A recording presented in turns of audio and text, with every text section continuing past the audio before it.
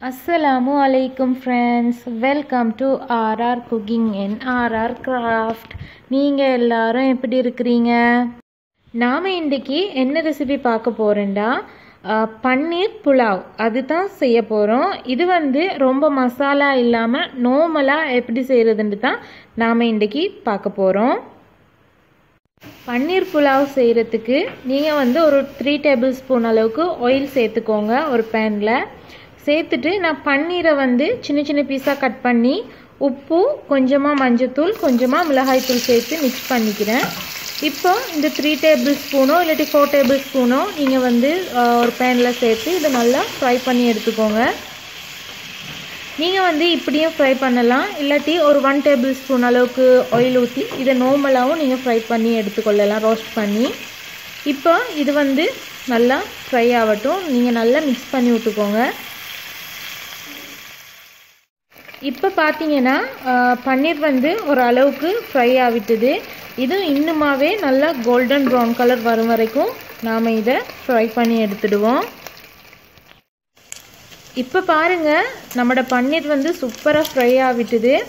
நான் இப்போ இதை வந்து வேறையா ஒரு பிளேட்க்கு இதை எடுத்து வைக்க போகிறேன் இப்போ பாருங்கள் நான் ஃப்ரை பண்ணின பன்னீரை வேறையாக எடுத்து வச்சுட்டேன். அதே பேனில் ஆயில் ஈக்கும் அதில் நீங்கள் வந்து ஒரு பிரியாணி இலை சேர்த்துக்கோங்க. ஸ்டார் பூ அது இருந்தால் நீங்கள் சேர்த்துக்கோங்க. அதோட வந்து ரெண்டு கராம்பு ஒரு ஏலக்காய் சேர்க்க போகிறேன் இந்த பன்னீர் புலாவுக்கு வந்து ரொம்பவே மசாலா எதுவும் தேவையில்லை.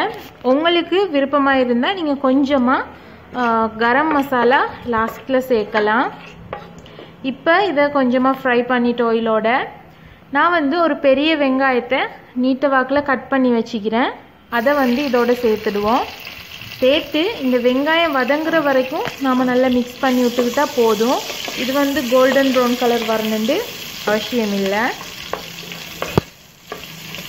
இந்த பன்னீர் புலாவ் ரொம்பவே டேஸ்ட் ஆகிக்கும் இது வந்து ஈஸி மெத்தட் தான்.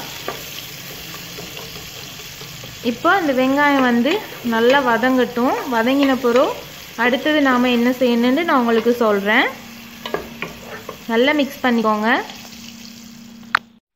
இப்போ பாருங்கள் நம்மளோட வெங்காயம் வந்து நல்லா வதங்கிட்டுது.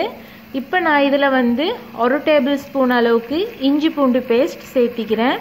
நீங்கள் வந்து ஃப்ரெஷ்ஷாக இஞ்சி பூண்டை தட்டி போட்டாலுமே நல்ல வாசனை ஆயிக்கும் நாம் இஞ்சி பூண்டு பேஸ்ட்டையும் பச்சை மணம் இல்லாமல் இந்த ஆயிலோடு நல்லா ஃப்ரை பண்ணி எடுத்துடுவோம்.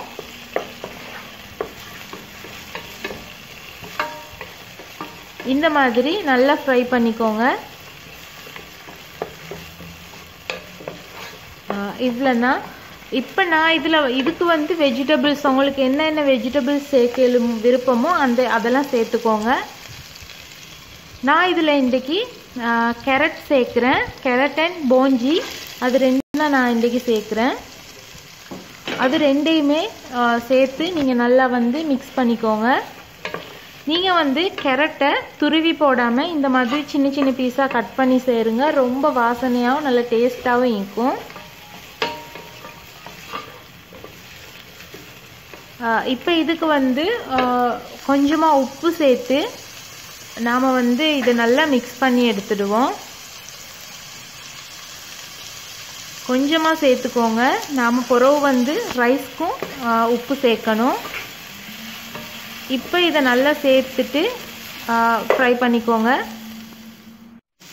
இப்போ பாருங்கள் நம்மளோட கேரட் வந்து ரொம்பவே வேகக்கூடாது. கேரட் அண்ட் பீன்ஸ் இப்போ நான் வந்து கொஞ்சமாக மஞ்சள் காரத்துக்கு வந்து ஒன்றரை டீஸ்பூன் அளவுக்கு மிளகாய்த்தூள் சேர்க்குறேன். உங்களுக்கு விருப்பமாக இருந்தால் மிளகுத்தூளும் சேர்த்துக்கோங்க. ஃப்ரெஷ்ஷாக மிளகுத்தூள் இடித்து சேர்த்துக்கோங்க நல்லா இருக்கும் இப்போ இதை வந்து நீங்கள் நல்லா மிக்ஸ் பண்ணிக்கோங்க. இந்த மசாலாட பச்சை மணம் போகிற வரைக்கும் நாம் இதை ஆயிலோட கொஞ்சமாக மிக்ஸ் பண்ணிடணும். இப்போ நான் வந்து ரெண்டு கப் அரிசியை ஒரு இருபது நிமிஷத்துக்கு முன்னக்க நல்லா தண்ணியில் ஊற வச்சு எடுத்துக்கிறேன். பாருங்கள் நல்லா ஊறிக்குது. இப்போ நாம் இதையுமே இந்த மசாலாவோட நல்லா மிக்ஸ் பண்ணுவோம். இப்போ இந்த மசாலாவோட இதை நல்லா ரைஸை நல்லா மிக்ஸ் பண்ணியாச்சு. நான் வந்து ரெண்டு கப் ரைஸ் எடுத்துக்கிறேன். அதுக்கு வந்து மூணு கப் இல்லாட்டி மூணே கால் கப் அளவுக்கு தண்ணி சேர்த்துக்கோங்க. அது வந்து உங்களுக்கு போதுமானதாக இருக்கும். இப்போ இந்த ஓரத்தில் இருக்கிற அரிசி எல்லாத்தையுமே நீங்கள் நல்லா எல்லாத்தையும் உள்ளக்க எடுத்து போட்டு இதுக்கு இப்போ தேவையான அளவு உப்பு சேர்த்துக்கோங்க. உப்பு சேர்த்துட்டு இதை நாம் மூடி வச்சிடுவோம்.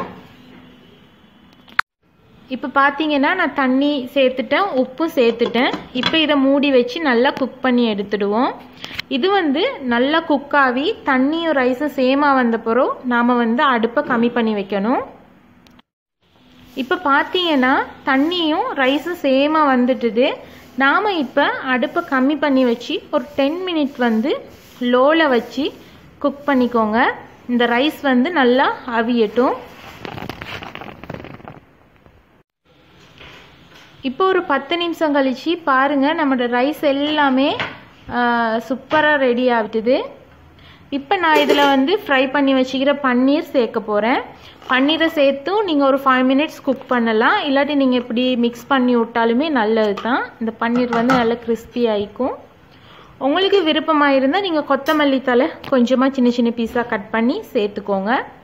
நம்மட பன்னீர் புலாவ் செம்மையாக ரெடி ஆகிட்டுது. ஆனால் நீங்கள் இது இன்னொரு அஞ்சு நிமிஷம் பன்னீரை சேர்த்துட்டு மூடி போட்டு மூடி வச்சு குக் பண்ணிங்களாக்கும் இதை விட சூப்பராகிக்கும் எனக்கு இப்படி இருந்தால் தான் பிடிக்கும். இதை இன்னும் குக் பண்ணி சாப்பிட்றது எனக்கு பிடிக்காது. எனக்கு பன்னீர் வந்து நல்லா கிறிஸ்பியாக இருக்கணும் சாப்பிடும்போது. இப்போ பாருங்கள் நம்மட பன்னீர் புலாவ் ரொம்பவே சூப்பராக ரெடி ஆகிட்டுது.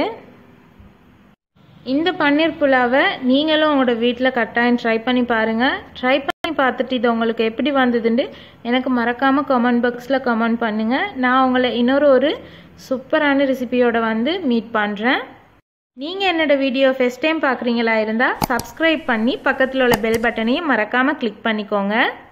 இப்போ தான் நான் போடுற வீடியோ எல்லாமே உங்களுக்கு உடனுக்குடன் நோட்டிஃபிகேஷனில் வரும். நீங்கள் அதை ஈஸியாகவும் பார்க்கலாம். Bye friends have a nice day